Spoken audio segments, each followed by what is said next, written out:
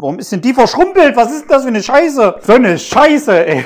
Die nachfolgende Sendung ist nicht für professionelle Köche geeignet.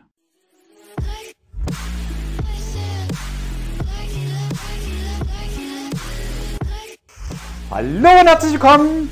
Herzlich willkommen zurück zu einer neuen Folge von Philipp kocht. Wir machen als allererstes die Käsesoße. Wir eine et etwas speziellere Soße rausgefunden und zwar eine mit Weißwein. Die soll sehr gut schmecken. Und wir brauchen dafür Käse. Ich habe unterschiedlichen Käse da. Die brauchen aber unterschiedlichen Käse. Ich habe einmal Schmelzkäse. Ah, ich hole mal alle Zutaten raus. Da wisst ihr schon mal, um was es heute geht hier. Hier. Und Reis brauchen wir natürlich noch. Wir brauchen einen Kochtopf für die Käsesoße. Ach du Scheiße. Ja doch, wir nehmen den. Wir nehmen den. Wie viel Schmelzkäse standen da in dem Rezept drin, was ich gerade gesucht hatte, damit ich ungefähr die Mischmenge gleich habe? Weil ich weiß gerade noch, wie viel Milliliter Dings ich nehmen wollte. Acht Scheiben Schmelzkäse. 100 Milliliter ist ja gar nicht viel.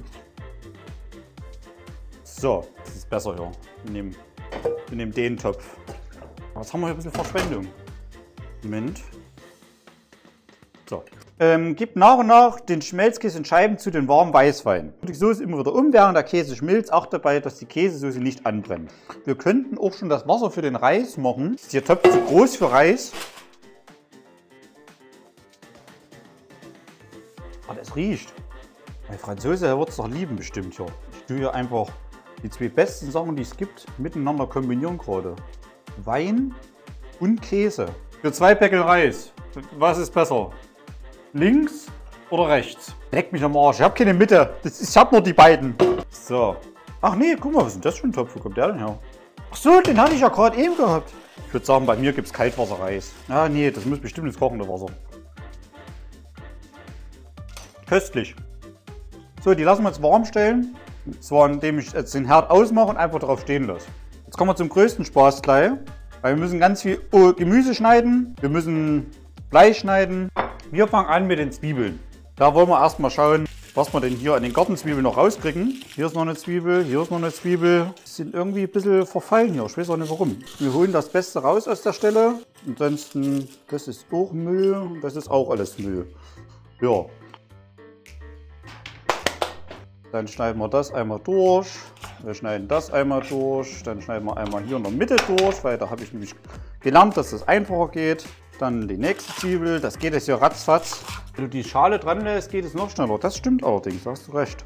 Aber ich denke, dann wird das Essen nicht so geil. Es geht ja eh schneller, weil ich werde die dann bloß auseinanderrupfen hier. Ich werde die ja nicht schneiden, das könnt ihr vergessen. Boden sauber, der Boden ist doch sauber. Sieht eure Küche nicht so aus wie meine. Also ich weiß jetzt nicht, was in meinem Boden hier auszusetzen ist. Aber ich habe die Zwiebeln so lange angeguckt, das dreht mein Auge.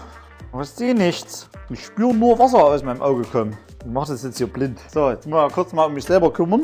Scheiß Zwiebeln. Wer die erfunden hat, das sollte irgendwie steinigt werden. Manchmal. Was ist denn hier? Das bleibt noch ein bisschen warm. Wir machen auf jeden Fall die grüne. Die ist standardmäßig. Die grüne ist versch... Warum ist denn die verschrumpelt? Was ist das für eine Scheiße? Der Grotz hat 1 Euro gekostet. 1 Euro auf, auf dem Wochenmarkt. Die sah gut aus. So eine Scheiße, ey. Ja, das geht noch. Das hier ist alles so in Scheiben geschnitten jeweils. Das gleiche. Und dann machen wir halt noch die rote Paprika mit rein. Würzig und scharfen Peperonis. Die kommen auch noch mit rein in den ganzen Spaß. So, dann hauen wir jetzt hier hinten mal den Reis rein. Da kann ja ein bisschen dünsten, ne? Oder wie funktioniert das? Jetzt haben wir zwei Sachen. Was brauchen wir noch? Zwiebeln, Paprika, Pilze. Pilze brauchen wir noch. Die Pilze brauchen wir noch. Jedes Mal wieder aufs Neue, wenn ich Pilze mache, weiß ich nicht, muss ich die schälen, muss ich die sauber machen? Was mache ich damit? Mache ich hier von der Schale irgendwas ab? Schäle ich, schäle ich das so ab oder kann ich es einfach so benutzen? Dann tue ich immer so fake einfach so ein bisschen was abreißen und denke mir dann, ja, jetzt sieht es nach einem Pilz aus, den ich so in der Art und Weise essen würde und den hacken wir dann einfach klein. So, keine Ahnung, ob das wirklich so ist, aber man kann es ja abmachen. Das funktioniert ja. Dann kannst du hier den Stängel rausknallen und dann haust du wieder drauf.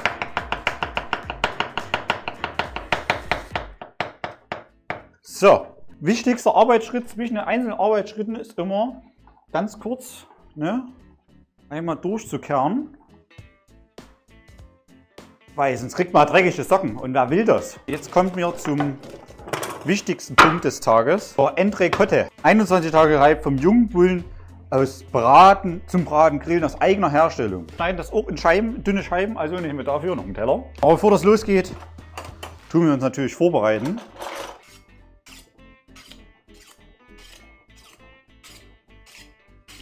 Keine Ahnung, ob man das so macht. Ich mache das aber gern. Mit der gewissen Fett noch mit drin, das ist wichtig, damit es ein bisschen saftig bleibt. Das schneiden wir jetzt so, wie es ist. Einfach in Scheiben. So, und die kommen dann halt auch mit in das große Pennchen rein.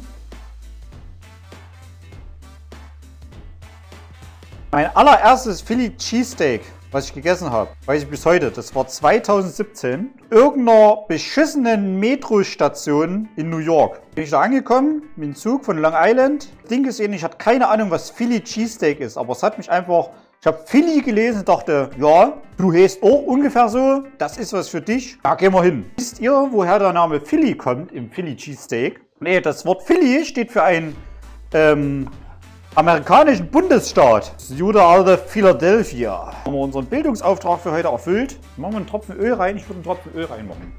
Ein Tropfen Öl schadet nie. Ich glaube, da ging ein bisschen Öl daneben irgendwie, oder? Ja, das muss ja ein bisschen zusammenfallen, der ganze Mist, damit man das Fleisch reintun können. Die Frage ist, haben die das, hat er das gewürzt? Weil normalerweise im Philly Cheese Steak wird halt in einem Brot serviert. Mit Reis schmeckt natürlich alles besser. Aber ich muss das, also ich als äh, vehementer Nicht-Vegetarier, ne? Muss auch sagen, wenn man so eine Gemüsepfanne machen würde, und jetzt ohne das Fleisch rein, Peperoni ist scharf. Alter Vater. Der Reis ist jetzt gleich fertig. Rausholen und in unseren Topf hier hinten reinschmeißen. Na? Oh! Geil! Da sagt mal einer, ich kann nichts. Das ist quasi fertig. Das stelle ich jetzt hier hin. Mache da einen Deckel drauf. So, und hier schieben wir das ist alles ein bisschen zur Seite. Es riecht so ganz leicht verbrannt. Ich mache da doch noch mal einen Tropfen Öl rein. So.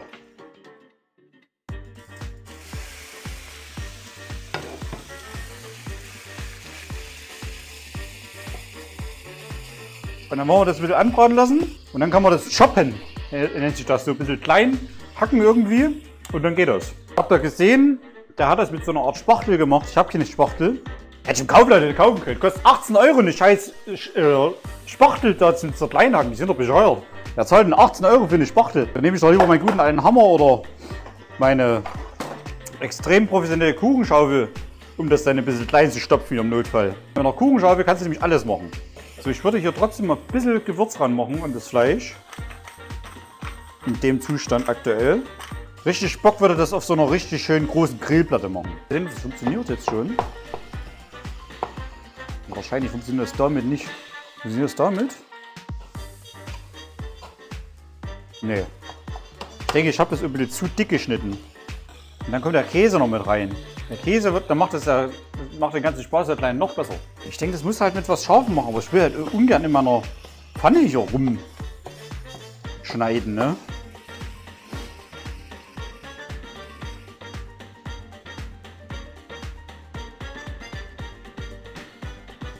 kann noch gut werden, wenn man sowas macht, oder?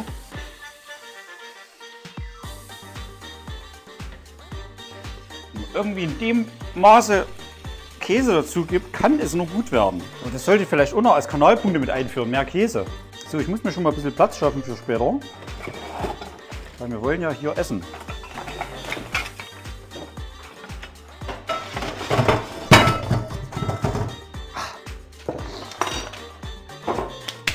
So, Platz geschaffen. So, und das könnte man jetzt theoretisch aufs Brot drauf machen oder wir machen das jetzt so wie ich und machen das auf Reis. Als allererstes kommen wir hier mit unserem Reis. Den kippen wir hier rein.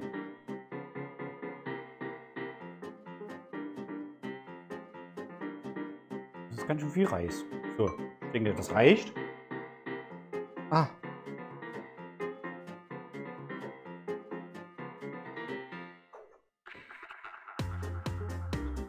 So. Und darüber kommt jetzt noch die geile Käsesoße. Oh. Ja, die ist ein bisschen zu fest geworden jetzt am Ende.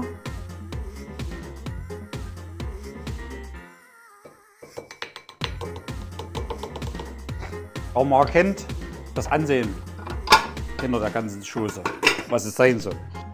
Das Philly Cheese Steak auf Reis fertig.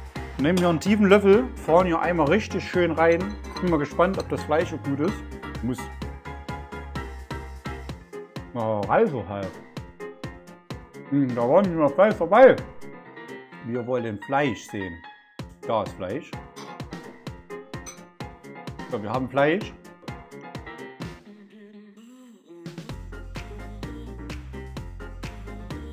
Das Fleisch passt meiner Meinung nach. Kann man sich nicht beschweren. Also es ist gut. Und ich würde sagen, das war wieder mal so eins von den schnellen und einfachen Rezepten. Ja, auch schon. Aber gut. Käse kann man natürlich nie genug haben.